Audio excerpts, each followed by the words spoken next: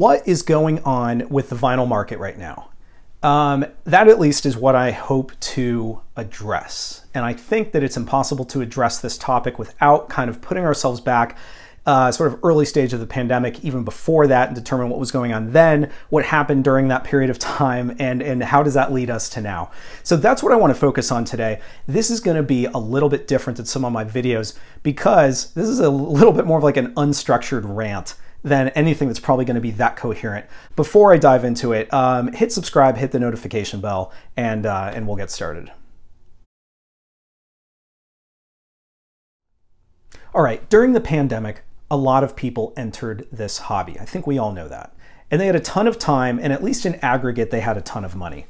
Um, and this wasn't limited to just vinyl in terms of where that money was being spent, right? So people were buying baseball cards, Pokemon cards, uh, original Nintendo games. The price of vintage cars went up during the pandemic, really was just across a wide variety of areas. And you don't need me to tell you why. Uh, I'm sure you know it was because everyone was stuck at home. Uh, we didn't commute. Some people weren't working. We couldn't spend time going out and doing maybe what our traditional hobbies are, like, I don't know, travel, going to restaurants, hanging out with friends, uh, etc.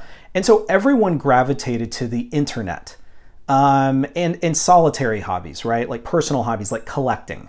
Uh, and, and, they devoted all of that unused money that otherwise they would have been spending elsewhere, um, plus their government COVID checks that they were getting on collectibles like vinyl. So let's back this up just, a, just for a quick second. So this hobby in terms of collecting vinyl had prior to COVID been going on a fairly steady upward climb that was outpacing inflation. Uh, values, generally speaking, for jazz records had been going up since I would say at least the 1980s. Don't get me wrong, I was not collecting in the 80s. I was born in the 80s. But from what I know about since the time I've been collecting, as well as what was going on from talking to others, I actually have an uncle who's, who uh, has been collecting jazz vinyl since the 80s. Um, I, I know that that's basically the case. So when COVID hit, things accelerated, and this was because more people came to the hobby wanting to participate, and there was a scarcity of supply. Uh, so basically, there weren't enough records to meet uh, the demand. Now, there weren't enough records to meet demand before the pandemic either, but we're talking about a lot more people entering the hobby. More people creates more demand, uh, which drives uh, higher prices, right? So a lot more people were bidding on eBay. Uh, more people came to YouTube and Instagram to join the vinyl community, and the one thing that everyone was talking about was values. Uh, so this was at the same time that we were learning about all of those overnight Tesla and Bitcoin millionaires, and there was there seemed to be this irrational sense that maybe we could spend the pandemic getting rich. So remember that labels don't make money from us buying vintage records, right? Makes sense. Um, and if demand for vintage exceeds the supply, why not fill the void with new releases? Uh, especially as some of these prior reissues were disappearing from stores and increasing as value in value as well because people couldn't find the originals and so then they're going for the black B blue note labels and the white B blue note labels and, and the values of all of those were going up as well, right? And because people's other alternative was to potentially spend hundreds of dollars on an original, why not put in the effort to make or at least brand your releases as high-end audiophile? Um, and this was already happening, again, as I said, before the pandemic with the Tone Poet series that had quite coincidentally been launched like what like November right before the pandemic. Um, and and you know, and obviously there were other labels that were doing it for a while, like Analog Productions, who've been doing it for decades. Um, but it really accelerated this idea of these higher end audiophile releases. It really accelerated just over the last two years or so, just just really since COVID. And and what they were banking on, I think, is the energy that people had for the originals being carried over to reissues. But how could they do that for a mass release reissue unless they release them in limited quantities? Right? So it's impossible to find Quiet Kenny in its original form, and even if you do, it's a grand or two grand. So we're going to release it, but we're going to make sure that it's in limited quantities, and we're going to we're going to up the price a little bit um, to make sure that we can sell out, right? Because it's it's important for them to sell as much as there is demand. Like that just kind of makes sense. They don't want to have excess supply, right?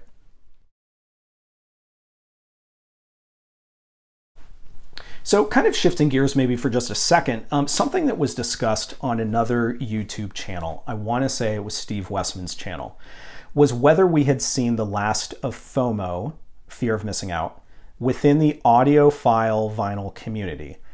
Um, and I think that we have to some extent, and I'll say this I think it carries over to not just audiophile vinyl, but all vinyl.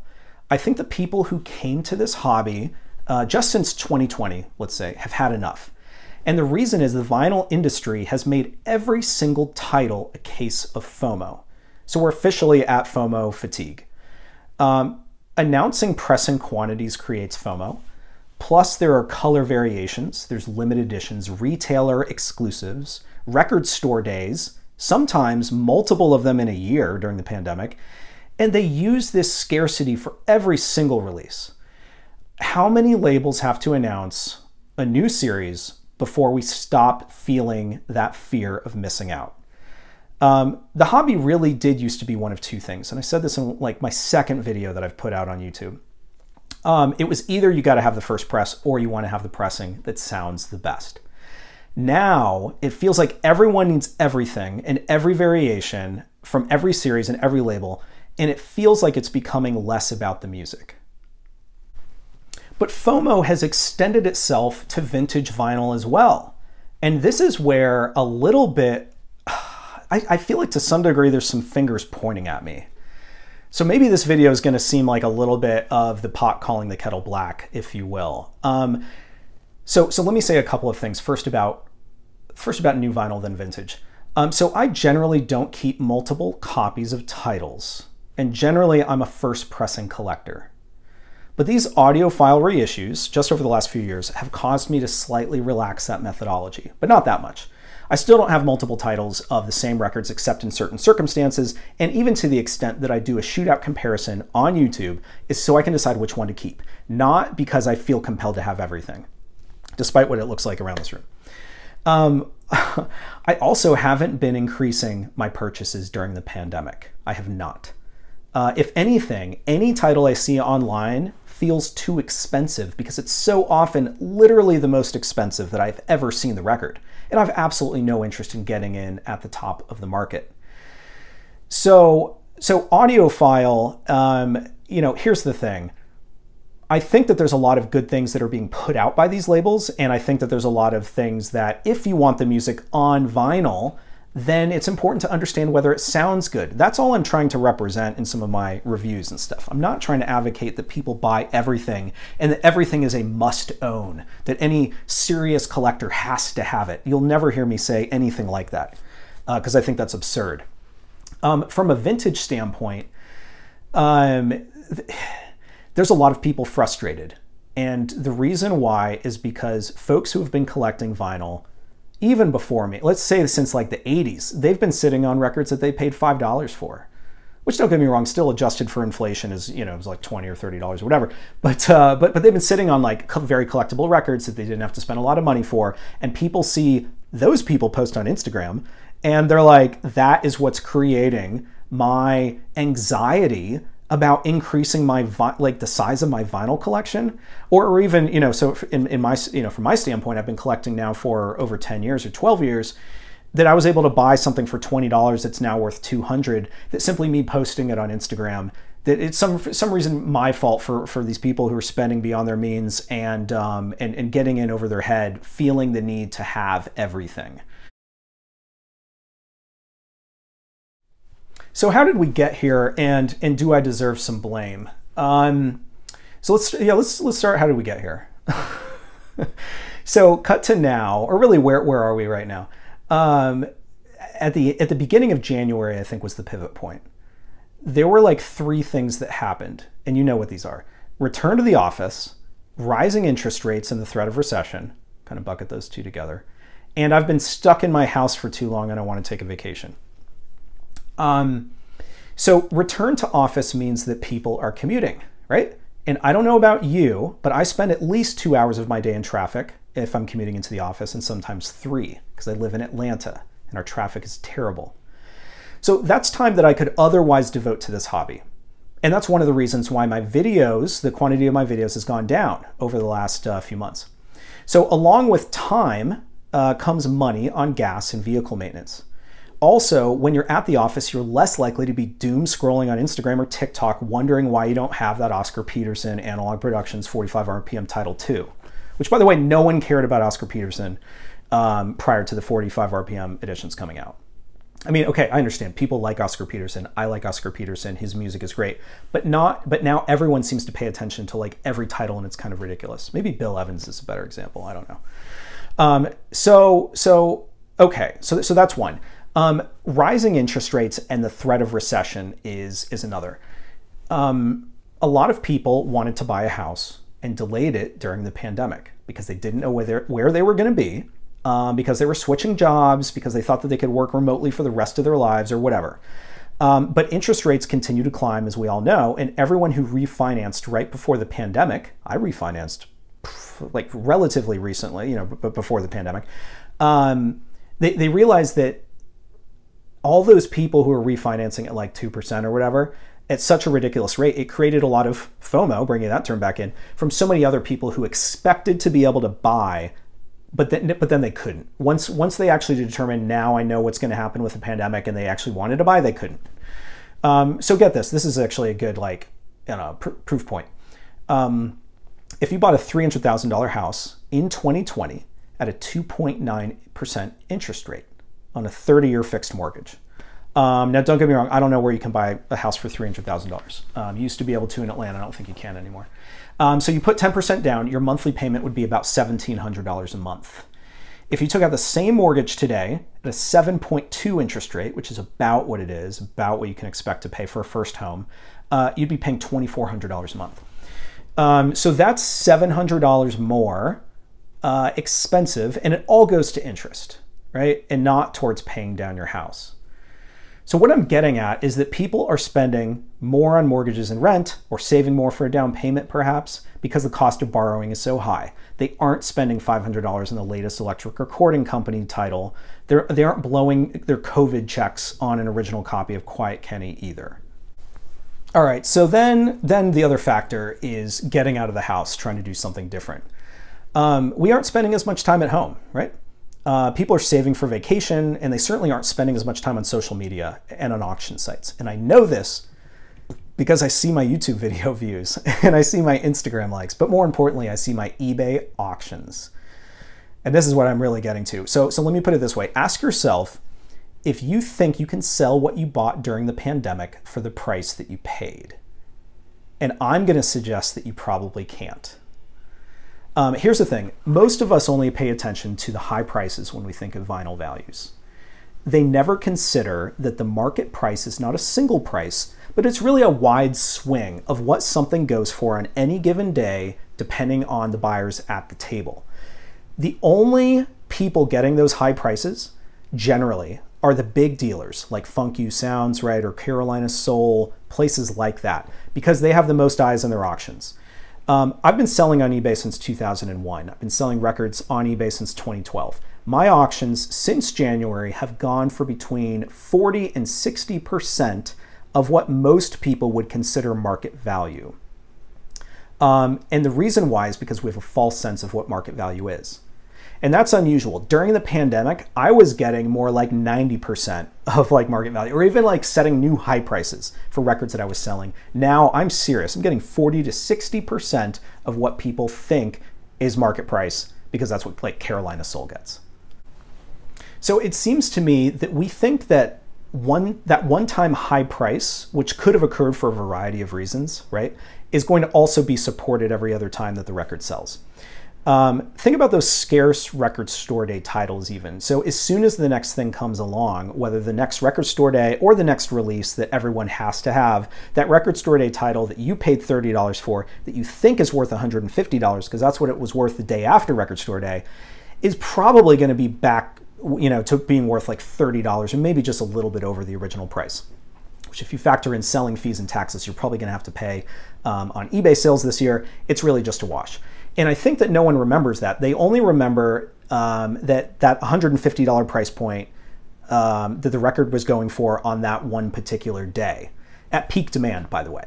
For otherwise scarce used titles that come up for sale only seldomly, uh, just because one pops up and someone who's been waiting a long time for that particular title decides to splurge and pay more than market rate doesn't mean that that's the new market rate. It really doesn't. The market price is a window, and sometimes it's a large window.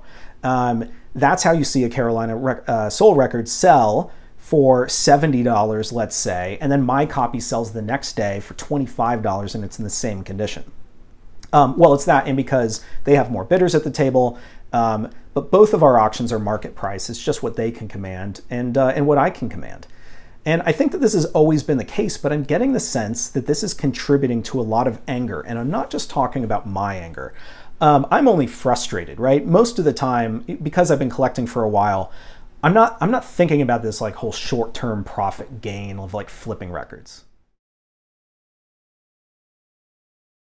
All right, so I think what I'm getting at with this video is a couple of things. One is what's going on with the vinyl market in terms of prices, and I think the other is people. I think people are playing a big role here. And I think that anger seems to be what has entered our hobby. It's always been there, but like especially since January. And I think it's a product of some of the other economic conditions that I mentioned. Um, people are extremely impatient right now, though, with any label that releases a product that isn't flawless. Uh, they complain about retail prices for some titles uh, being too high, and then simultaneously pressing quality for other titles being terrible. And really, the two are somewhat bound together. Um, I've also heard people complain about being forced to buy box sets uh, to get certain titles and blame labels for making people spend more money. Um, no, like, no. The issue is you don't need every title. You really don't. And, and right now, and again since January, I don't think that these obscure titles are selling in the same volume. So, in order to make it profitable for labels uh, to license and release, they have to group it with other titles in these box sets so that they can guarantee more revenue per purchase. So, where does all of this leave us um, who still want to buy records and listen to music? Um, is buying right now a good idea? I think it can be but just like it was before the pandemic, records are not good short term investments. Uh, and a lot of people came into this hobby thinking they were. I think the only way to buy is to ensure that your purchase price is either at or less than the value for the record, you like at or less your value for the record. And I think the only time you should be buying records is if you actually want to hear the music and you actually want to own it for a long time. Um, and, and that probably sounds obvious, but it feels like there's this overwhelming voice in this hobby right now um, of, of people who think otherwise, of people who are angry. Um, and, and a lot of people, I think, are gravitating away to, uh, from the hobby, which may end up being a good thing, um, which is driving, which is bringing less bidders to the table, which is bringing prices down. So, my opinion here is that prices are not down across the board. I've, and I think I've said this for a while, at least uh, over the last couple of years, the prices for the most collectible records in top condition will continue to be supported and possibly even continue to go up. Where I think that the uh, reductions are going to be is I don't think that brand new vinyl is going to sustain its price after the point of purchase and after, after the fact it's been opened. Um, I don't think reissues are going to hold uh, their their value as much, and I guess what I mean is like vintage reissues. Um, I don't think that they're going to hold their value as much, and I certainly don't think that anything VG and less is going to continue to be propped up because of all of these people that have to have a copy of everything. Um, so that's kind of my sense and my rant of what I think is going on in the market right now. Um, I continue to be very optimistic and happy person when it comes to this uh, to this hobby. Um, and maybe it's because I'm not trying to get out of it. I'm not trying to make money on it necessarily. Every now and then I'll be, you know, I'm always buying and selling just so I can continue to afford the titles that I want. Um, but I think it's going to be really interesting to see what happens over this coming year as people potentially gravitate away from the market um, and and as yeah things just kind of change with with less money getting thrown around. It's going to be interesting to see what happens with the record labels and see how they react. So that is my somewhat unscripted rant that I wanted to record for you today. I'm really curious what you think about any of my points that, again, I probably haphazardly stitched together and don't form a coherent argument, as I said up front. But that's just kind of uh, what I wanted to do today. So let me know what you think. I'll see you next time.